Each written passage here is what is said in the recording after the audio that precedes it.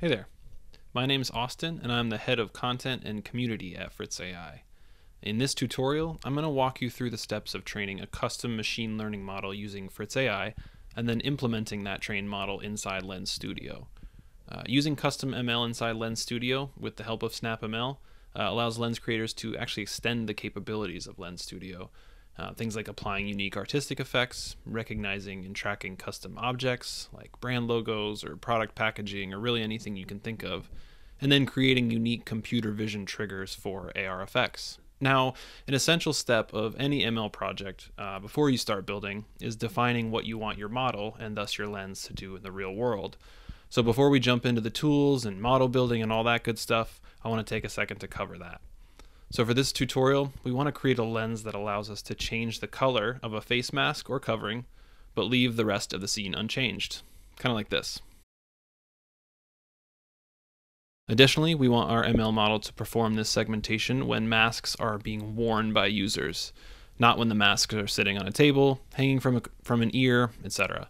Uh, this context is going to help uh, when we create our data set, but more on that in a moment.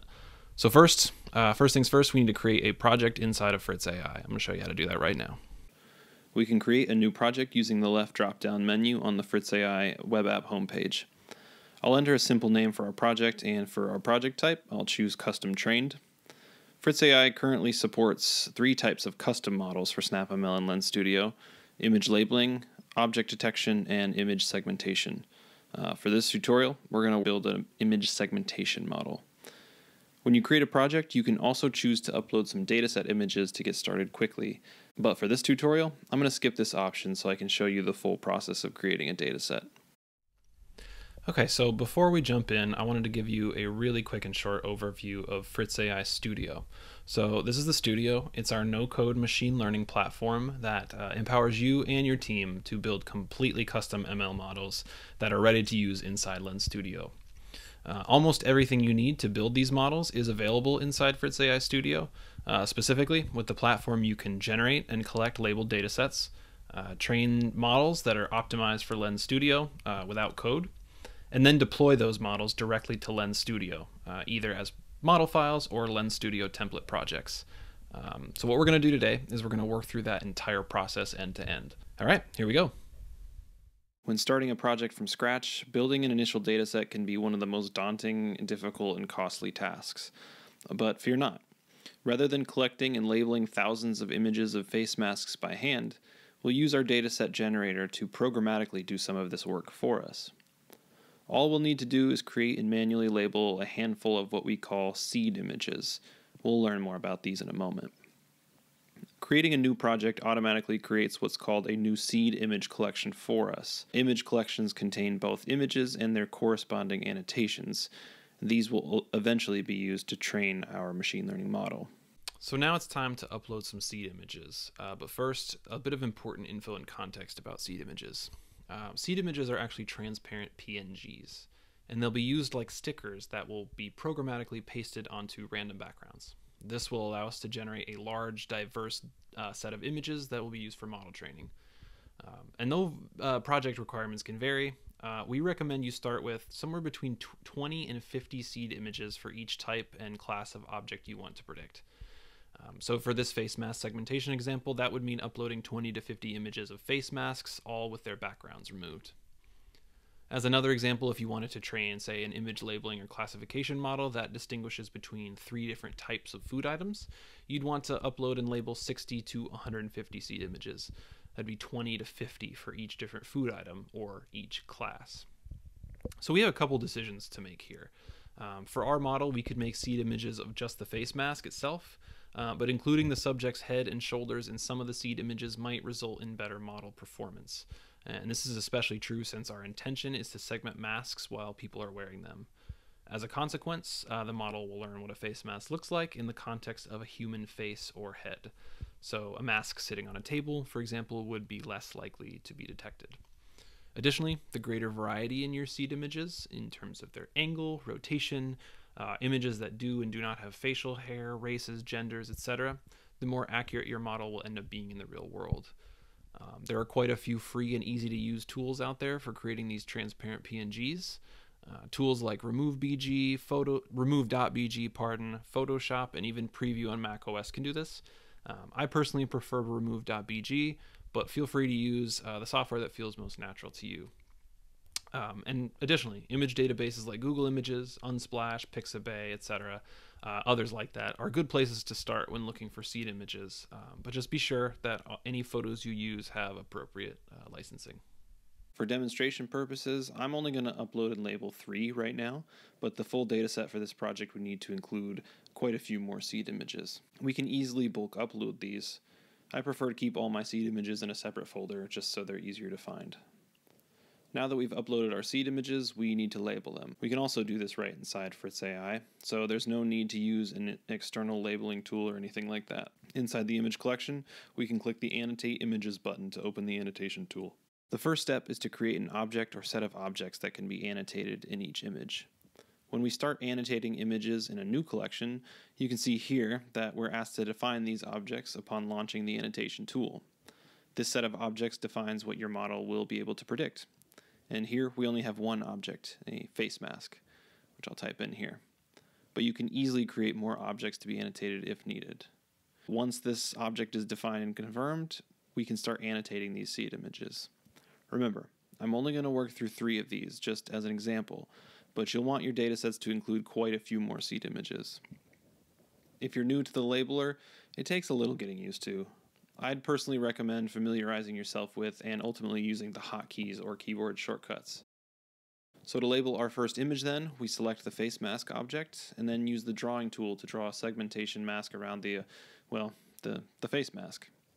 We'll do this with each image, being sure to save each annotation once we're happy with it before moving on to the next. You can always delete annotations you're unhappy with and start over. I'm going to speed up the process here, but take care to ensure your seed image labels are as accurate as possible. After all these seed images have been annotated, you can use the image collection that we just created and annotated to generate what's called a dataset snapshot. Now, snapshots are sets of images and their annotations frozen in time, and these are the things we actually use to train models. Provide a name, ensure you have the correct seed image collection selected, and choose the number of images you want to generate. We recommend somewhere between 50 and 100 snapshot images per seed images. So, for instance, for 50 seed images, a snapshot of somewhere between 2,500 and 5,000 images. As a general rule, more good data is going to be better. But again, for demonstration purposes, I'm just going to generate a smaller snapshot of 150 images from those three seed images I uploaded and labeled earlier. You can also use a couple advanced configuration options, one of which is adjusting the foreground scale range, which will control the relative size of the seed image stickers on each snapshot image. The goal is to generate images that contain objects that most closely approximate what the model might see in real world use. Generating your dataset should only take a few minutes, but while you wait, you can check out this dataset preview to get a better sense of how the dataset generator actually works, and to see if you've picked an appropriate foreground scale range. So now we've successfully generated a snapshot and we're ready to train a first version of our model. Model training is actually really simple in Fritz AI. There's no ML code or Python notebooks or any other model building overhead. To start a training job, click on the Training tab on the left hand menu and then the Train a Model button over on the right. All we need to do is provide a name, choose the snapshot to train the model on, and then set a training compute budget. We recommend five training hours for custom models, but do note that if your model stops improving during training, Fritz AI will automatically stop the training process and you won't be charged for hours that are left over. So here I'll keep the suggested number of hours, make sure that I've chosen the correct snapshot, and then hit train. That's it. Our model is now training. Similar to the dataset snapshot we generated, we'll get an email confirming when our model is done training. So I'm going to grab a bit of food while we wait, and I'll see you in just a bit.